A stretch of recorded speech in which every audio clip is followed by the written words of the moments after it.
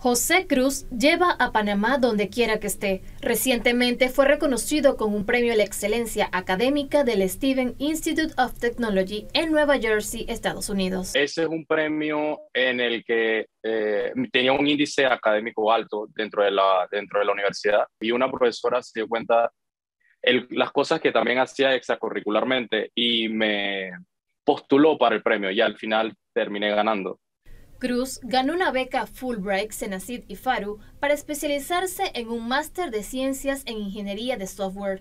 Sus esfuerzos dieron frutos tras ser el único latinoamericano en la carrera y obtener tan alta distinción. Actualmente me encuentro investigando en una arquitectura de diseño para dispositivos inteligentes. Existen muchos proveedores de dispositivos inteligentes, eh, por ejemplo, de luces, cámaras en general, y cada uno de ellos tiene una forma particular de hablar, pero todos pertenecen a un solo, vamos a llamarlo ecosistema.